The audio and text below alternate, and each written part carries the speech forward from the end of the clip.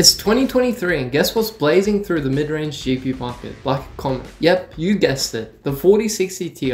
But in a world flooded with graphic monsters, can this new kid on the block really hold its own? Today we're diving deep into the pixelated pool, comparing the shiny new 4060 Ti with its big brother, the 3060 Ti, and contenders from Team Red, the RX 7600 and 6750 XT. Ready to witness this graphic gladiator match? Because trust me, it's going to be graphically intense. Stick around because by the end of this video, you will know exactly which GPU is worth emptying your piggy bank for. Alright, let's dive into the specs. While the exterior may be misled, the 4060 3060 Ti's internal specs reveal a lot. It has an 11% decrease in core count from the 3060 Ti, dropping from 4864 to 4352 cores. The TMU and ROP counts also saw reductions by 11% and a significant 40% when compared to the 3060 Ti. Meanwhile, both the 7600 and 6750 XT have higher ROP counts. But specs aren't just about the numbers. The 4060 Ti reduces its memory bus by half compared to the previous model, but impresses with a 52 to 64% increase in boost and base clocks. This jump is all thanks to Nvidia's new Ada GPU architecture and the 4nm process, enhancing efficiency and boost clocks. Additionally, it has a 29% faster memory clock than the 3060 Ti. Price-wise, the 4060 Ti 8GB is priced at $370, followed by the 6750 XT at $350, then the 3060 Ti at $335, and the RX 7600 finally at $250. A mere $35 separates the 3060 Ti from the 4060 Ti, while the RX 7600 stands out with unique pricing. So which GPU gives the best bang for your buck? Keep watching to decide. Welcome to Rasterized 1080p, where frame rates rule. Quick note, we're not testing DLSS 3 today. It's apples versus robotic apples comparing AI upscalers. Every card is different. Let's see their raw performance. In most tests the 4060 Ti leads, but with slim victories. For instance, the 6750 XT dominates in F1, while in GTA 5 the 3060 surprisingly bests the 4060 Ti. This reveals that sheer clock speeds don't determine every win. Against the 7600, the 4060 Ti generally prevails, except in Red Dead Redemption 2, hinting at AMD optimization. Props to the RX 6750 XT though, it's consistently punching above its weight class. Looking at averages, the 4060 Ti only shows an 8% 6% edge over the 3060 Ti, 7% over the 6750 XT, and 18% lead on the RX 7600. It's solid, but we were expecting more. Time to tackle 1440p, the high def run. While you would expect big gaps, the 4060 Ti's lead over the 3060 Ti is not substantial. Clock speeds aren't everything sometimes, it's the details. Interestingly, at 1440p, the 6750 XT frequently surpasses the 4060 Ti. Maybe it's that 12GB of VRAM flexing against the 4060 Ti's 8GB. And in GTA 5, the 3060 pulls further ahead of the 4060 Ti. But in Red Dead Redemption 2, a usual AMD stronghold, the 4060 Ti stands toe to toe with the RX 7600, like they're perfectly in sync, especially in 0.1% lows. However, the RX 7600 seems outpaced by other titles of 1440p, as if it's lost its edge.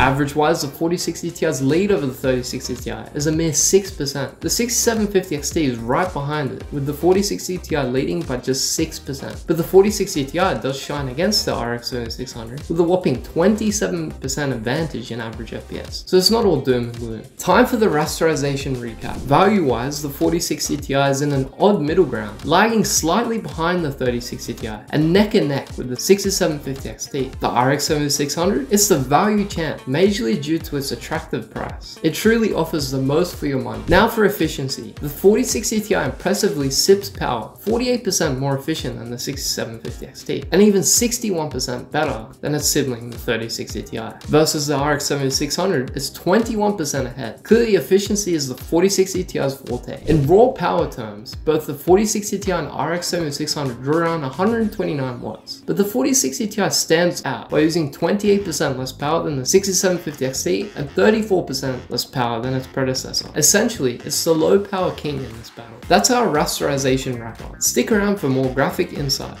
Time to delve into ray tracing at 1080p. So how do our GPUs perform? The 4060 Ti strides ahead of the 3060 Ti, but stumbles in games like Hitman 3, where its predecessor even overtakes it. As for the RX cards, Ray tracing dims the 6750 XT shine, making the 4060 Ti seem out of reach. Plus, the 3060 Ti occasionally nudges ahead, reminding us of the significance of specs. In average FPS for 1080p ray tracing, the 4060 Ti edges a 7% lead over the 3060 Ti, boasts a 15% lead over the 6750 XT, and dwarfs the RX 7600 by a massive 71%. Quite the divide. Moving over to ray tracing for 1440p, here lights dazzle, shadows deepen, and the competition intensifies. While the 6750 XT and 7600 lag behind, the 3060 Ti and 4060 Ti are surprisingly neck and neck. Unexpected moments, both the 6750 XT and 4060 Ti are in sync in Shadow of the Tomb Raider, and the 3060 Ti nearly matches the 4060 Ti in Spider-Man. In a 1440p ray tracing 5 game average, the 4060 Ti claims a 10% advantage over the 3060 Ti, a 7% lead over the 6750 XT, and a whopping 70% lead over the RX 7600. Quite the dramatic showdown. Time for the ray tracing round. In geomean value, the 3060 Ti reigns supreme, the 4060 Ti trails the predecessor, and barely surpasses the 6750 XT. The RX 7600 was firmly at the bottom, indicating NVIDIA's dominance in ray tracing. Shifting to geomean efficiency, the 4060 Ti shines the brightest, leading with numbers that are jaw-dropping. 64% over the 3060 Ti, 84% over the 6750 XT,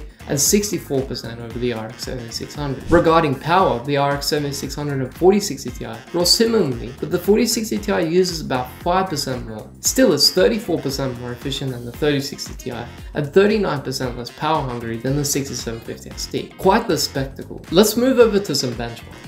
In Blender, the 4060 Ti dominates, surpassing its predecessor by 36%, the 7600 by a massive 246%, and the 6750 XT by 166%. Shifting to spec SPECviewperf, covering 3ds Max, SolidWorks, and Maya, the 4060 Ti faces challenges. It's bested by the 6750 XT in Maya by 22% and 3ds Max by 33%, but it holds a tiny edge over the 6750 XT and SolidWorks by 3%. As for the RX 7600, results are mixed. Premiere Pro brings surprises, with the 6750 XT leading the pack. The 4060 Ti trails it by 23% and is even overshadowed by the 3060 Ti by 20%. However, it does manage to outpace the 7600 by 13%. In After Effects, the 6750 XT and 3060 Ti lead lead the way, leaving the 4060 Ti 22% behind. The RX 7600 surprisingly keeps pace with the 4060 Ti. Quite the benchmark roller coaster. Time to push the 4060 Ti to its limits, with some overclocking action. Using the Asus Dual OC version, we dialed up to a 10% boost in power limit, a plus 170 MHz bump on the core,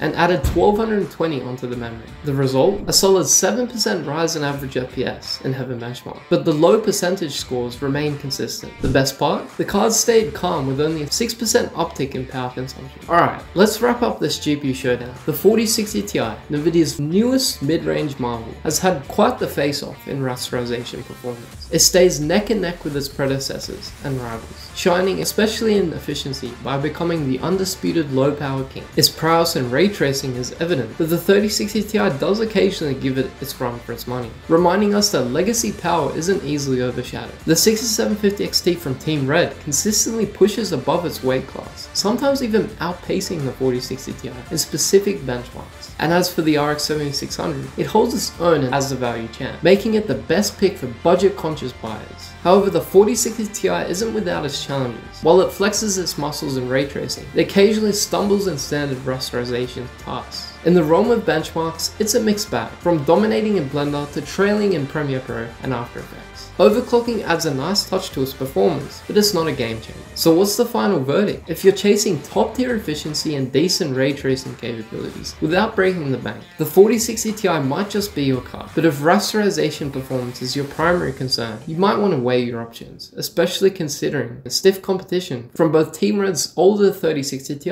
and Team Red's 6750 XT. Now the decision lies with you. Which GPU will earn its place in your group? Whatever you choose, happy gaming and content creating. Anyways guys, that's all for today. Make sure to like, subscribe and turn on the notification bell. Also make sure to check out the RTX 4060 review we did. That'll be on screen right now.